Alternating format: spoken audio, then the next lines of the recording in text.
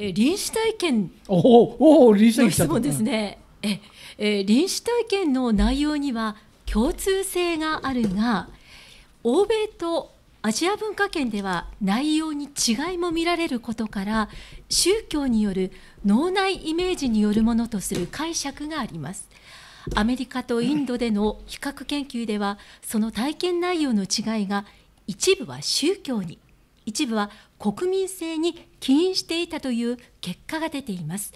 臨死体験を先生はどう解釈していますか？あのね最大公倍数最大公約数まあいろいろ言い方あるけど 共通項あるんですよ、はい、絶対的な共通項があるの。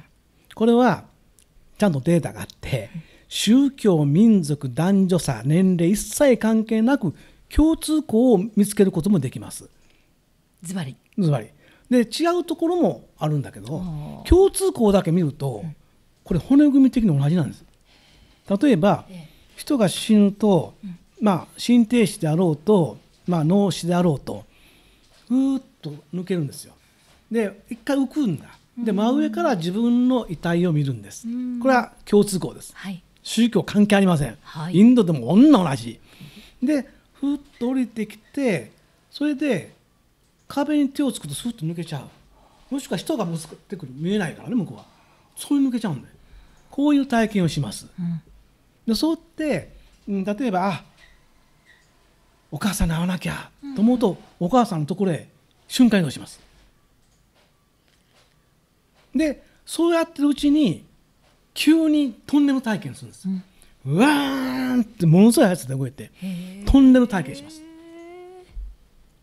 世界共通です、はい、日本でもないです、はい、でバーッと現れたところ一面花畑なんです。それは黄色で決まってます。これ世界共通です。ピンクないです。黄色です。で向こう側に亡くなった自分の主に親族が待ってる。で、はい、みんな優しく迎えてくれる。だけどもみんながいるわけじゃない。抜けてる人たちがいる。ん別のとこ行っちゃってるってことだうん、で大事なことはね気持ちいいらしいんだよ。もうね死んだら今日は気持ちいい世界らしいんだよ。これあんまり言うとさ、怖いんだよ、でこれ大事なことは自殺した人たちはまた別の体験してるんだよ。そちらも聞いてみたいです。